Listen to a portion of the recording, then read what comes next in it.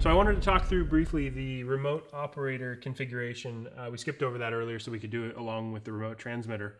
Um, there's a bunch of settings in here that will define how the remote transmitter feels for the person who's running it. And we're just gonna work our way through it. Uh, pan joystick smoothing. This setting applies, um, some people call it a ramping, some people call it an ease in, ease out.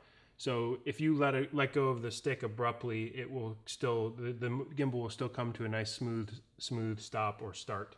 A higher number means more smoothing applied. A lower number means less smoothing applied.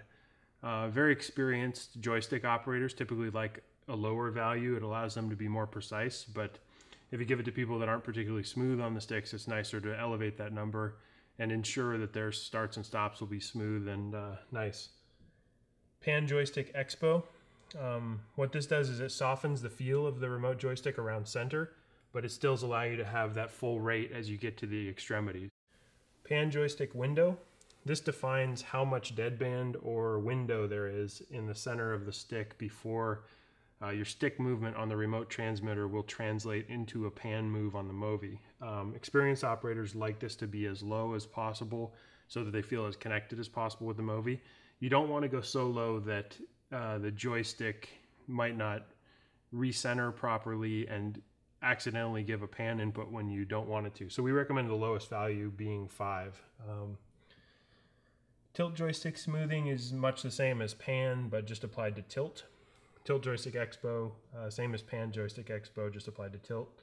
Same with window. Um, pan tilt uh, remote adjustment speed.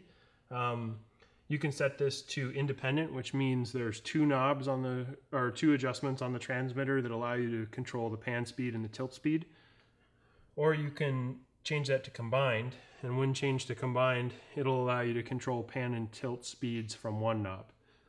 Um, we tend to use it as independent because we find oftentimes there's shots and maneuvers that call for a very fast pan speed, but you still want very slow tilt speeds or or maybe vice versa. Uh, it's just nice to have the flexibility to adjust those two independently.